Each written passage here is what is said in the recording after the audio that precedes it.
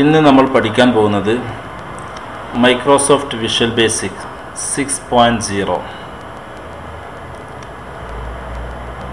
Microsoft visual basic ഉപയോഗിക്കുന്നത് സോഫ്റ്റ്വെയറുകൾ ഉണ്ടാക്കാനാണ്. ഉദാഹരണത്തിന്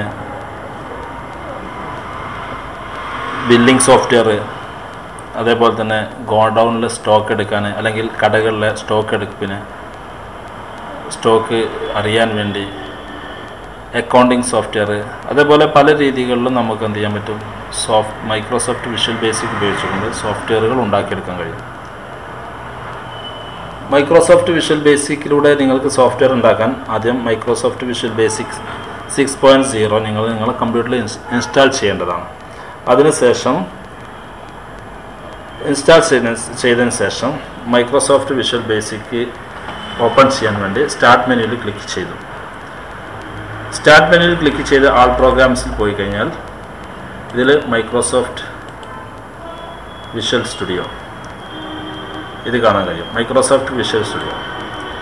അതിൽ ക്ലിക്ക് ചെയ്ത് കഴിഞ്ഞാൽ Microsoft visual visual basic six point zero അതിൽ ക്ലിക്ക് ചെയ്ത് കഴിഞ്ഞാൽ നമുക്ക് ഇങ്ങനെ ഒരു പേജാണ് ഓപ്പൺ ചെയ്ത് കിട്ടുക. ഇതിലൂടെ ഇത് നമുക്ക് ഇപ്പോൾ മൈക്രോസോഫ്റ്റ് വിഷ്വൽ ബേസിക്കിൽ സോഫ്റ്റ്വെയർ ഉണ്ടാക്കാൻ വേണ്ടി ഫസ്റ്റ് നമ്മൾ ഓപ്പൺ ചെയ്യുന്ന ഒരു ഫോമാണ് അത് ഓപ്പൺ ചെയ്യാൻ വേണ്ടിയിട്ടുള്ള ഒരു നമുക്ക് ഏത് രീതിയിലുള്ള ഫോമാണോ ഓപ്പൺ ചെയ്യേണ്ടത്? ഉദാഹരണത്തിന് സ്റ്റാൻഡേർഡ് ഇ എക്സ് ആയിട്ട് തുടങ്ങണോ? ആക്റ്റീവ് എക്സ് ഇ എക്സ് ആണോ? Active X D L L ആണോ?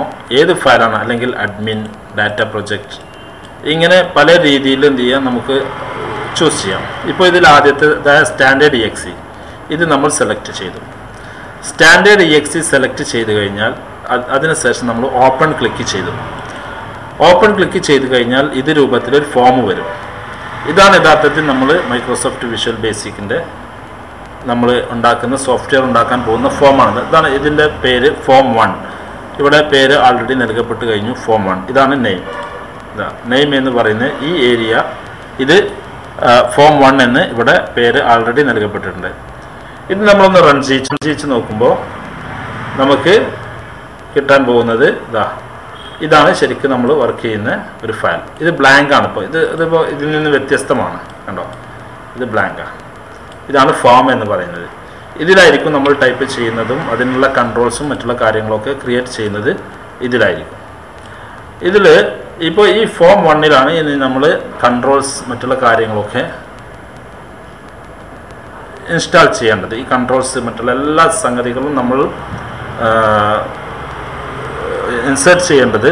ഈ ഒരു ഫോം വണ്ണിൽ നമ്മൾ നമുക്ക് ആവശ്യമുള്ള കൺട്രോൾസ് ഇൻസ്റ്റാൾ ഇൻസേർട്ട് ചെയ്യണം. ഇതാണ് കൺട്രോൾസ് എന്ന് പറയുന്നത്. ഇതാണ് കൺട്രോൾസ് ഇതിൽ കൺട്രോൾസ് ആദ്യം ഞാൻ കൺട്രോൾസ് ഒന്ന് പരിചയപ്പെടുത്തി തരാം അതിന്റെ പേര്. ഇതാണ് ഒരു കൺട്രോൾ ഇത് പിക്ചർ ബോക്സ് ഇത് നമ്മൾ പിക്ചറൊക്കെ കാണിക്കാൻ വേണ്ടി നമ്മൾ ഉപയോഗിക്കുന്ന കൺട്രോളാണ് കൺ പിക്ചർ ബോക്സ് പിന്നെ ഒരു കൺട്രോളാണ് ലാബിൾ അതേപോലെ ഒരു കൺട്രോൾ ടെക്സ്റ്റ് ബോക്സ് അതേപോലെ ഫ്രെയിം കമാൻഡ് ബട്ടൺ പിന്നെ ചെക്ക് ബോക്സ് ഓപ്ഷൻ ബട്ടൺ അതേപോലെ കോംബോ ബോക്സ് ലിസ്റ്റ് ബോക്സ് ഇത് എച്ച് സ്ക്രോൾ ബാർ ഇത് വി എസ് സ്ക്രോൾ ബാർ ഇത് വെർട്ടിക്കലാണ് അതേപോലെ തന്നെ ഇത് timer drive list box drive list box file list box shape box line image data OLE ഇത്രയും സാധനങ്ങൾ ഇപ്പോൾ ഇതിൽ പ്രസന്റിലുണ്ട് ഇനി ഇതിലേക്ക് ആഡ് ചെയ്യാം. ഇങ്ങനെ നമുക്ക് വേണ്ട കുറേ മറ്റുള്ള കൺട്രോൾ ഡേറ്റ് കൺട്രോൾ ഇപ്പോൾ ഇതില്ല. അങ്ങനെ കുറേ കൺട്രോൾ നമുക്ക് ഇതിൽ ആഡ് ചെയ്യാവുന്നതാണ്. അത് നമുക്ക് വീണ്ടും പിന്നെ പിന്നെ അടുത്ത ക്ലിപ്പുകളിലൂടെ നമുക്ക് പഠിക്കാവുന്നതാണ്. ഇപ്പോൾ നമ്മൾ ഇതിൽ പഠിക്കാൻ പോകുന്നത് ലേബിളും അതേപോലെ ടെക്സ്റ്റും. ഇത് രണ്ടും മാത്രമാണ് ഇന്ന് നമ്മൾ പഠിക്കാൻ പോകുന്നത്. എന്താണ് ലേബിൾ ലേബിൾ എന്ന് പറയുന്നത് ഒരു ലേബിളിൽ യൂസർക്ക് എന്ത് ചെയ്യാൻ പറ്റില്ല. നമ്മൾ ഉണ്ടാക്കിയ സോഫ്റ്റ്വെയർ നമ്മൾ നിർമ്മിച്ച സോഫ്റ്റ്വെയറിലൂടെ ആ യൂസർക്ക് എന്ത് ചെയ്യാൻ കഴിയില്ല അവിടെ എഡിറ്റ് ചെയ്യാൻ കഴിയില്ല. മറിച്ച് പ്രോഗ്രാ പ്രോഗ്രാം ചെയ്യുന്ന പ്രോഗ്രാമർക്ക് കോഡിലൂടെ മാത്രമേ എഡിറ്റ് ചെയ്യാൻ കഴിയുകയുള്ളൂ. ചിലപ്പോൾ ഒരു പക്ഷേ നിങ്ങൾക്ക് ഇത് പറയുമ്പോൾ മനസ്സിലായിക്കോണമെന്നില്ല അത് നമ്മൾ പ്രാക്ടിക്കലായി ചെയ്ത് കാണുമ്പോൾ നിങ്ങൾക്ക് മനസ്സിലാവും. ടെക്സ്റ്റ് ബോക്സ് എന്ന് പറയുന്നത് യൂസർക്ക് എഡിറ്റ് ചെയ്യാനും യൂസർക്ക് ഡാറ്റ ക്രിയേറ്റ് ചെയ്യാനും ഒക്കെ കഴിയുന്ന ഒരു ബോക്സാണ് ടെക്സ്റ്റ് ബോക്സ് എന്നുള്ളത്. അപ്പോൾ നമ്മൾ ആദ്യമായി ഒരു ടെക്സ്റ്റ് ബോക്സ് ക്രിയേറ്റ് ചെയ്യണം. അതിനുവേണ്ടി നമ്മൾ ടെക്സ്റ്റ് ബോക്സ് ടെക്സ്റ്റ് ബോക്സിൽ ഒരു പ്രാവശ്യം ക്ലിക്ക് ചെയ്തു. എന്നിട്ട് നമ്മൾ ഇവിടെ അത് ഡ്രോ ചെയ്തു. ജസ്റ്റ് മൗസിൽ നെക്കി പിടിച്ചുകൊണ്ട് അമർത്തി പിടിച്ചുകൊണ്ട് ഡ്രോ ചെയ്തു. ഇനി അതല്ല ഒരു ഡബിൾ ക്ലിക്ക് ഇതിൽ കൊടുക്കുകയാണെങ്കിൽ അപ്പോഴും അത് ഇതിൽ വരുന്നതാണ്. ഒരു ഡബിൾ ക്ലിക്ക് ചെയ്താൽ അപ്പോഴും അത് ഇതിൽ വരുന്നതാണ്.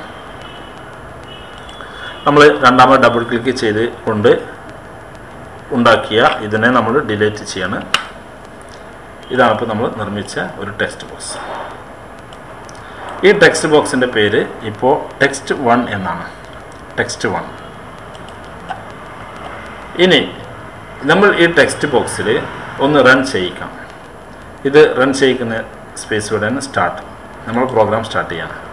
ഇതാണ് ടെക്സ്റ്റ് ബോക്സ് ഇപ്പോൾ ടെക്സ്റ്റ് ബോക്സ് നമ്മൾ ക്രിയേറ്റ് ചെയ്ത് കഴിഞ്ഞു. ഇനി നമ്മൾ ഒരു ലേബിൾ ക്രിയേറ്റ് ചെയ്യണം. ലേബിൾ ക്രിയേറ്റ് ചെയ്യുന്നത്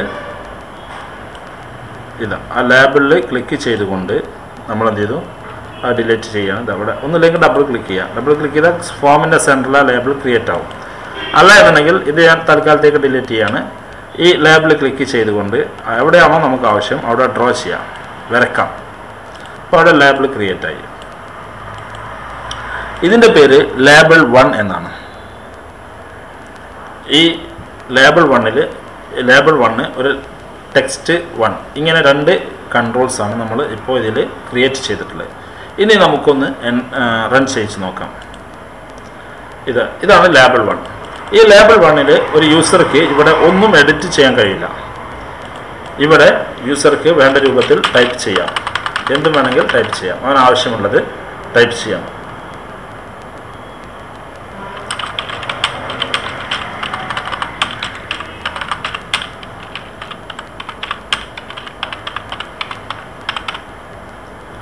എന്ത് വേണമെങ്കിലും അവരുടെ പേര് കൊടുക്കുക മറ്റുള്ള കാര്യങ്ങൾ ഇത് ഇതുപോലെ ടൈപ്പ് ചെയ്യാൻ പറ്റുന്ന ഒരു കൺട്രോളാണ് ടെക്സ്റ്റ് ബോക്സ് എന്ന് പറയുന്നത്. എന്നാൽ ലാബിൽ ഒരിക്കലും എന്ത് ചെയ്യാൻ പറ്റില്ല. നമുക്ക് അത് കൺട്രോൾ ചെയ്യാൻ അതായത് യൂസർക്ക് കൺട്രോൾ ചെയ്യാൻ കഴിയുകയില്ല. അത് അതിലെന്തെങ്കിലും മാറ്റങ്ങൾ വരുത്തണം എന്നുണ്ടെങ്കിൽ അത് ഒന്നില്ലെങ്കിൽ സ്റ്റാർട്ടിങ്ങിലെ മാറ്റം വരുത്തണം. അല്ല എന്നുണ്ടെങ്കിൽ അതായത് ഒരു സോഫ്റ്റ്വെയർ പ്രോ ഉണ്ടാകുമ്പോൾ ഒരു പ്രോഗ്രാം ഒരു സോഫ്റ്റ്വെയർ എഞ്ചിനീയർ ഒരു പ്രോഗ്രാം ഉണ്ടാക്കുന്ന സമയം മുതൽ ആ സമയത്തിന്റെ സ്റ്റാർട്ടിങ്ങിൽ അദ്ദേഹം മാറ്റം വരുത്തിയ മാറ്റങ്ങളാണ് കാണുക. അല്ലെങ്കിൽ കോഡ് ഉപയോഗിച്ചുകൊണ്ട് സോഫ്റ്റ്വെയർ ഉണ്ടാക്കിയ ഒരു പ്രോഗ്രാം ഒരു സോഫ്റ്റ്വെയർ എഞ്ചിനീയർ അദ്ദേഹം ആവശ്യപ്പെടുന്ന രീതിയിൽ മാത്രമേ അതിൽ മാറ്റം വരുത്താൻ കഴിയുകയുള്ളൂ. ഇതാണ് നമ്മൾ ഇന്ന് പഠിച്ചത്. ഇനി അടുത്ത രണ്ടാം ഭാഗത്തിലേക്ക് നിങ്ങൾക്ക് അടുത്ത അടുത്ത് തന്നെ വളരെ അടുത്ത് തന്നെ നിങ്ങൾക്ക് രണ്ടാം ഭാഗം പ്രതീക്ഷിക്കാവുന്നതാണ്.